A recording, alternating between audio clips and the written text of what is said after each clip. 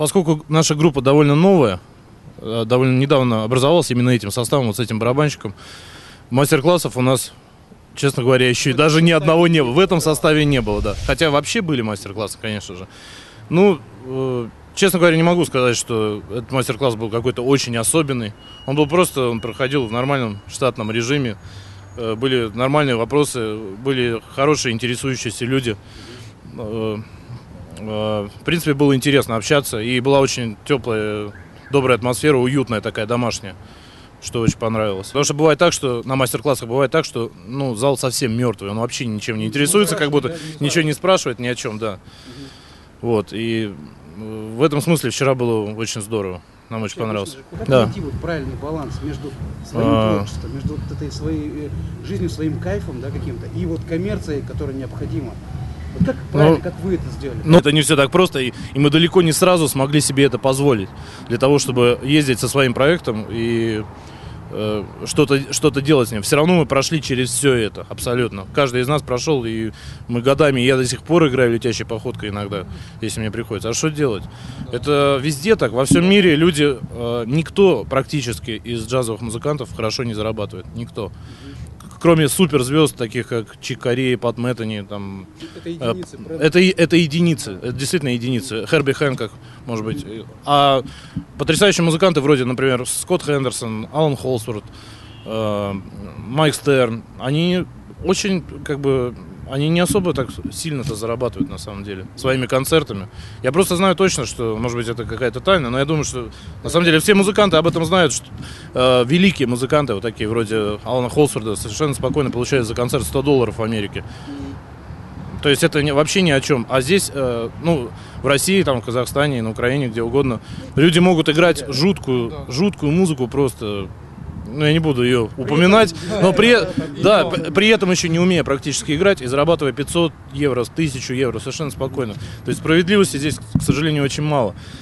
Вот. Но мы не отчаиваемся и, в принципе, вот сразу, если бы мы захотели, типа, э, отбросить все ненужное, как бы нам, всю вот эту музыку, которая нам не интересна, сразу бы у нас точно не получилось. Все равно нам нужно было пройти, э, проиграть несколько лет, стать более-менее известными.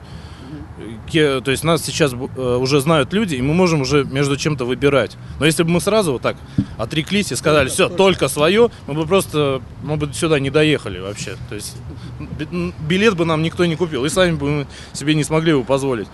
Вот, поэтому этот, э, э, этот компромисс продолжается и будет продолжаться всегда.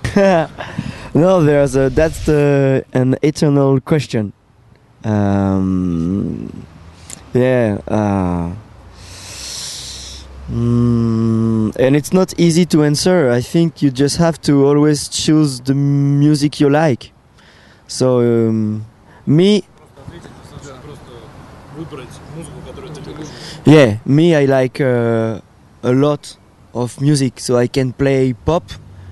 I will enjoy it, and I can play like jazz fusion. I will enjoy it as well. Я очень люблю разные музыки, я люблю и поп, и джаз, и фьюжн, Yeah, but if you play pop, you have to like the pop music.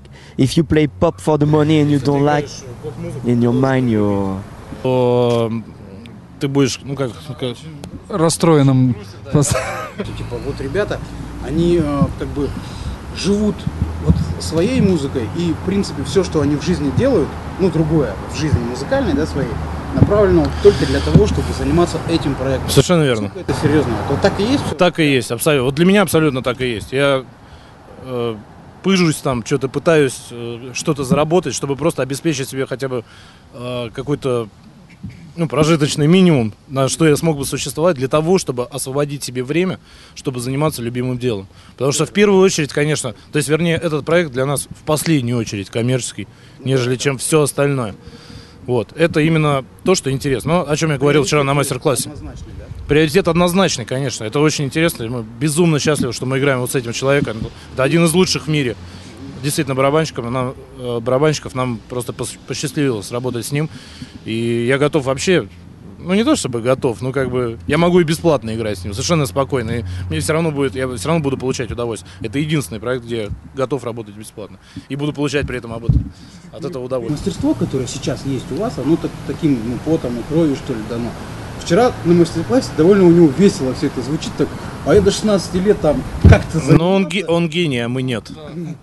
Здесь уже это... Это просто, на самом деле, на, на самом деле, он- не, он абсолютно не лукавит. Он действительно, он действительно гений. Не, на самом деле, среди и фирменных музыкантов, среди крутых музыкантов, настоящих мировых звезд, много и таких, которые много занимаются тоже, так же, как мы. А есть люди, которым это не нужно, вот вроде него. На самом деле, таких очень немного. Даже среди супермузыкантов. Вот чтобы команда звучала вот так вот сыграна, да, как вот Да. необходимы какие-то, ну, репетиции, а вы, получается, вы же не можете вместе. Нет, не, не, не необходимо Не, абсолютно. не, Э, Мы сыграли наш первый концерт, порепетировав всего два часа. И мы полетели сразу на гастроли в Новосибирске, сыграли прекрасный концерт. Это все зависит от твоего, именно твоего личного умения играть. Если ты находишься, то есть это как бы... э, ну вот если люди, допустим, знают хорошо языки там иностранные, да, они могут сразу общаться. Им не нужно притираться друг другу, там, привыкать. Э, язык музыки такой же язык. Мы просто учимся на нем разговаривать, он интернациональный. И любой человек из Японии, Китая, Тайваня, там, США, Англии, Германии, России всегда найдет общий язык музыки. То есть не нужно тратить много времени на то, чтобы сыгрываться. Э, Я считаю, что вот сыгрывание это немножко совковое такое мнение, что типа у нас группа, мы играем вместе уже два года, мы уже так сыгрались. Обычно так говорят люди, которые не умеют играть, если честно. Как бы вы бы характеризовали вот тот на концерт? Это чувство с чем ассоциируется прямо у каждого? Ну, он согласен. Но это чувство, ну, не знаю, трудно объяснить. Это чувство просто бесконечного счастья, вот лично для меня. То есть это такое чувство вот именно с этим человеком возникает, больше ни с кем. Больше ни с кем в моей жизни еще такого чувства не возникало. От понимания, да? От понимания и от того, что он супер просто. То есть он такого уровня, что ну, это такое удовольствие. Э, Играть с ним, разговаривать с ним на музыкальном языке. Э, Больше ни с кем такого. Все равно есть какие-то вопросы всегда, когда с кем-то играешь. Как бы вроде все хорошо, но что-то вот что-то где-то недопоняли, что-то где-то не нравится, а здесь нравится все. Здесь все идеально, здесь феерически. Федор, а ты с чем сравнишь? Именно по ощущениям. Да. Концерт, когда это происходит, или после него. там. Ну, во-первых, а, я, с- я прям улетаю с первых нот, особенно когда мы начинаем какие-то страшные темпы, в- грувы, вообще просто начинаешь улетать куда-то в небеса, и начи- особенно если моя импровизация, ну, просто необъяснимое чувство. Жаль, что когда он улетает, приходится возвращаться. Да, да, да, а потом, когда он, да, вот, и, ну и чувство вообще вот ре- реализованности в жизни, то, что как бы я нашел свое место, и я просто вот счастлив, что в этот момент, в, в это время я нахожусь в этом месте, да, это самое лучшее вообще. I have to tell the truth. no, I feel, uh, I feel, um, I feel uh, very good. I feel, uh, uh, I don't know. It, it's just um, we share music together, and and it's like um, when you're with your family, your brother, and you, we've got the same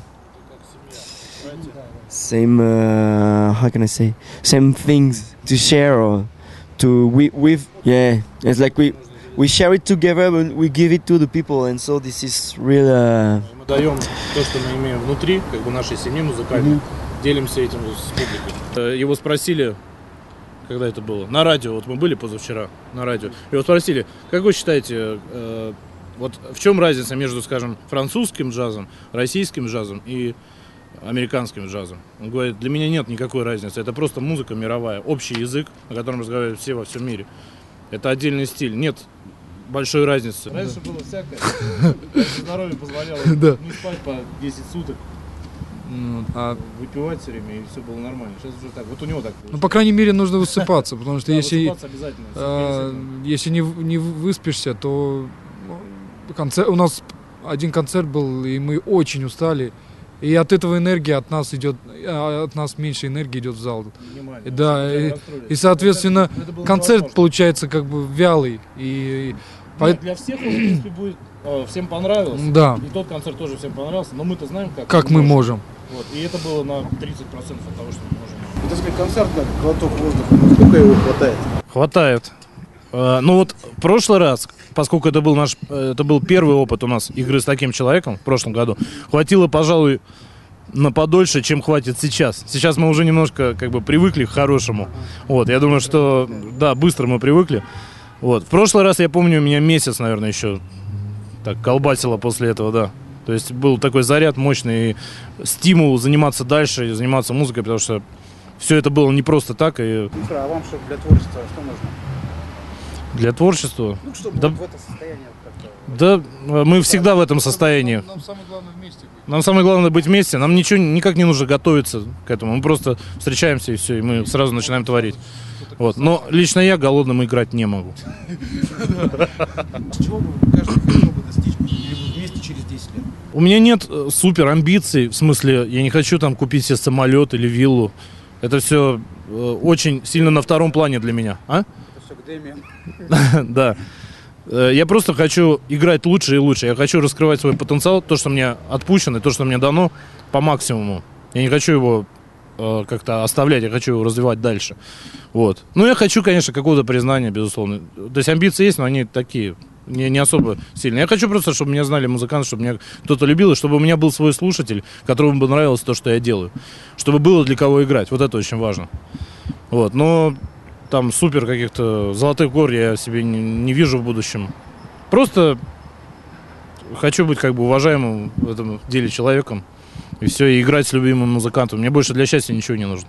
Тем музыкантам, которым вот... Я и Федя тоже, да? Согласен или нет? Да, я согласен, но хочешь я хотел бы А, через ты 10 хотел- лет, да, я через 10 лет хочу, чтобы мы, Ташкенту, а мы уже ты вот с этим проектом выступали где-нибудь на каких-то серьезных фестивалях. э, да, серьезных фестивалях, в Монтрю собирали, я не знаю, ну, конечно, громко, но может быть стадион, Хотя бы. если мы соберем когда-нибудь, вот это было бы очень Oh, super easy.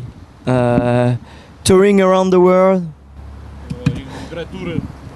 во всем мире. всему миру, да. and play with this guy uh, three chord on stage with 10,000 people and stop playing 10,000 chord for three people.